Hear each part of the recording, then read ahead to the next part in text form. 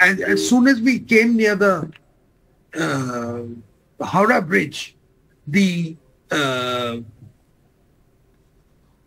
the, the, the, and confronted the barricades, the first thing the police did was they showered water cannon. Hmm. That's okay. That's part of life. Secondly, they followed it up immediately by firing tear gas shells. Followed it up immediately with a baton charge, with a charge against, which resulted in absolute chaos, pandemonium, etc., uh, taking place, hmm. stampedes and all that.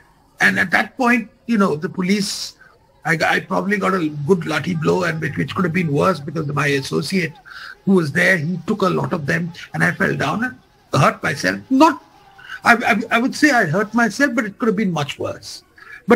It's it's obviously quite a distressing and experience, uh, uh, uh, quite a distressing experience. Partly because this was a peaceful demonstration. It was a high-spirited but peaceful demonstration, well planned in advance, against the mounting evidence of corruption within the TMC government. And if this space for democratic dissent is denied in Bengal, it's a very sad day for democracy. You know, Swapan da, well, the, the sense that I get from what you're saying, you're essentially saying that unusual amount of force was used to quell this protest. Is that is that yeah, what you're saying? Yeah, and it's not merely there. Look, look at it. Look and look, look, look at the steps which they took. Trains, which were carrying our supporters. I mean, uh, those who were traveling by train.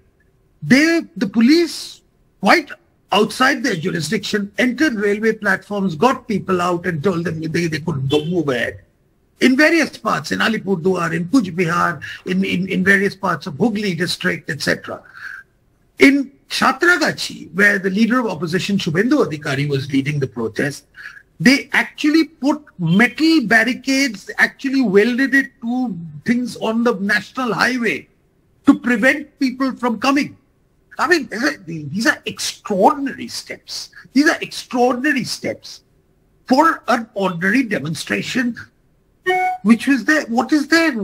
I mean, you would have thought this was some sort of a terrorist offensive which was being mounted in Bengal. Hmm. Now, so when I'm saying disproportionate, I mean that.